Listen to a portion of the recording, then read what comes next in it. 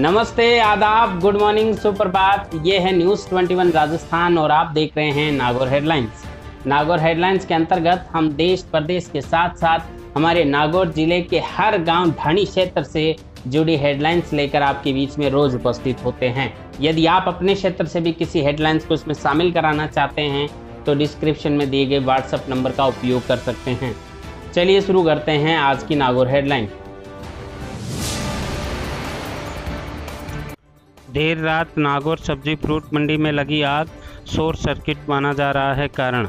Housing board क्षेत्र में करीब 40 मिनट तक आग की खतरनाक लपटों का आकाश में देखा गया भयावह दृश्य फैला काला धुआँ। दूर दूर तक देखी गई आग की लपटें नगर परिषद, अग्निशमन व पुलिस पहुँची मौके पर। आग पर पाया काबू, परंतु हुआ लाखों का नुकसान। प्रत्यक्षदर्शियों के अनुसार यदि हवा थोड़ी और तेज होती तो आसपास के इलाकों में फैल सकती थी आग। इसी प्रकार कल लाडनू में सालासर नागौर हाईवे पर कोयले से भरे चलते ट्रक में भी लगी आग। प्रदेश सरकार ने जारी की नई गाइडलाइन, कोरोना के संक्रमण की चेन तोड़ने के लिए उठाया बड़ा कदम। अब 17 मई तक महामारी रेड अलर्ट, जन अनुशासन पखवाड़ा रहेगा लागू। आवश्यक सामान यथा किराना, दूध, डेयरी, सब्ज़ी की दुकानों को सोमवार से शुक्रवार सुबह सात से ग्यारह बजे तक खोलने की व्यवस्था रहेगी जारी। शादियों में भी मेहमानों की संख्या घटाकर की गई है। इकतीस प्रदेश में जारी रहेगा बसों का संचालन। पचास फ़ीसदी यात्रियों के साथ ही चल सकेंगी बसें। एक से दूसरे ज़िले में मेडिकल या विशेष कारण पर ही जा सकेंगी।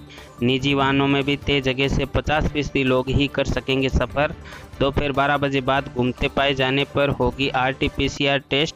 संबंधित व्यक्ति को पंद्रह दिन के लिए किया जा सकता है क्वारंटाइन। आज से प्रदेश में शुरू होगी मुख्यमंत्री चिरंजीवी बीमा स्वास्थ्य योजना। मुख्यमंत्री अशोक गहलोत करेंगे लॉन्च मुख्यमंत्री अशोक गहलोत ने ट्वीट कर दी जानकारी। मुख्यमंत्री चिरंजीवी बीमा योजना में रजिस्ट्रेशन करवाने की अंतिम तिथि को भी 31 मई तक बढ़ा दिया गया है। इस योजना में 30 अप्रैल तक रजिस्ट्रेशन करवाने वाले परिवार का लाभ एक मई 2021 से शुरू होगा। वहीं एक मई से 31 मई के मध्य रजिस्ट्रेशन करवाने वाले परिवार को लाभ रजिस्ट्रेशन की दिनांक से मिलेगा।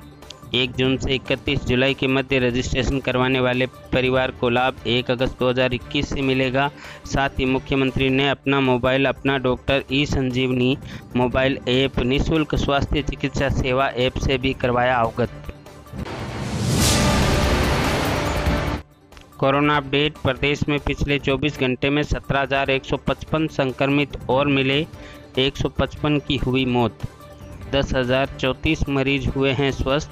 अब तक चार लाख सत्रह हज़ार दो सौ सतहत्तर लोग हो चुके हैं रिकवर। राजस्थान में कोरोना गाँवों तक पहुँच गया है। यहाँ 40 फ़ीसदी तक नए मरीज़ गाँवों से आ रहे हैं। नागौर ज़िले में कल मिले 226 नए केस। दो लोगों ने गंवाई अपनी कोरोना से जान।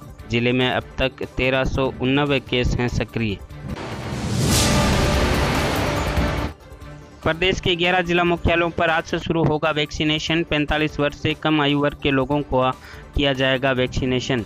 चिकित्सा एवं स्वास्थ्य मंत्री डॉक्टर रघु शर्मा ने बताया कि सीरम इंस्टीट्यूट ने राजस्थान को फ़िलहाल तीन लाख डोज देने पर दी है सहमति। इसलिए आयु, इस आयु वर्ग के लिए वैक्सीनेशन की शुरुआत केवल उन 11 जिला मुख्यालयों से की जा रही है जो कोरोना संक्रमण से सबसे ज़्यादा प्रभावित हैं। डॉक्टर शर्मा ने बताया कि अभी जयपुर, जोधपुर, अजमेर, बीकानेर, उदयपुर, अलवर, धौलपुर, भीलवाड़ा, कोटा, सीकर और पाली जिलों को इसमें शामिल किया गया है। उन्होंने कहा कि सीरम इंस्टीट्यूट से आने वाले दिनों में जब अधिक डोज प्राप्त होंगी, तब सभी जगहों पर वैक्सीनेशन आरंभ किया जाएगा। कोरोना बनता जा रहा है, काल मीडिया में भी मची है दशहत। कल वरिष्ठ पत्रकार रोहित सरदाना का भी हुआ निधन। सरदाना आज तक के लिए कर रहे थे पत्रकारिता। पीसीसी अध्यक्ष गोविंद सिंह डोटासरा ने ट्वीट कर संवेदना भी व्यक्त की। इसी क्रम में भास्कर के वरिष्ठ पत्रकार किशनगढ़ प्रभारी अरविंद गर्ग का भी हुआ निधन। जयपुर में चल रहा था उनका इलाज। उपचार के दौरान हुआ निधन।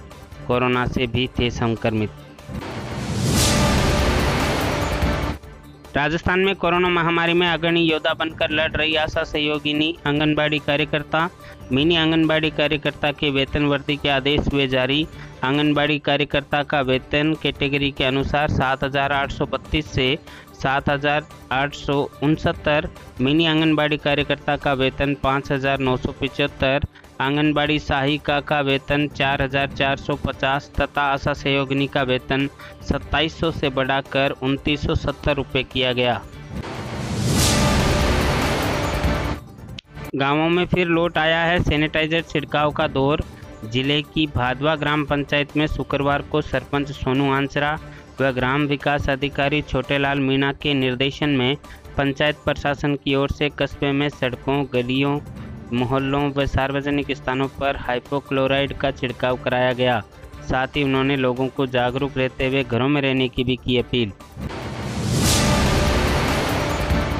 रियाबड़ी उपखंड के ग्राम पंचायत सताना कला के आईटी केंद्र में कोर कमेटी की समीक्षा बैठक हुई। संपन्न बैठक में पीईओ रूगाराम राड ने कोर कमेटी के सदस्यों के साथ कोरोना के बढ़ते प्रभाव को रोकथाम के लिए किए जा रहे प्रयासों के बारे में विस्तार से की चर्चा।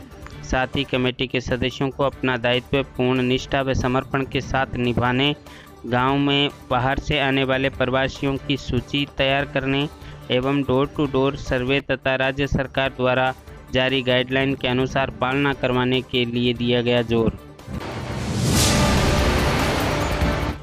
पिछले दो दिनों से नागौर ज़िले के मौसम का मिजाज दिख रहा है बदलता। कल ज़िले के परबतसर मकराना, कुचामन सहित आसपास के क्षेत्रों में साय चार बजे के आसपास अचानक मौसम में बदलाव हुआ और तेज गर्जन के साथ हल्की बारिश हुई।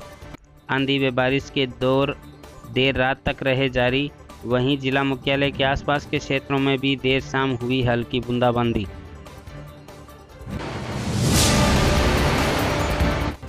ये थी आज के अंक की नागौर हेडलाइंस इसी तरह की हेडलाइंस लेकर हम आपके बीच में रोज उपस्थित होते रहेंगे।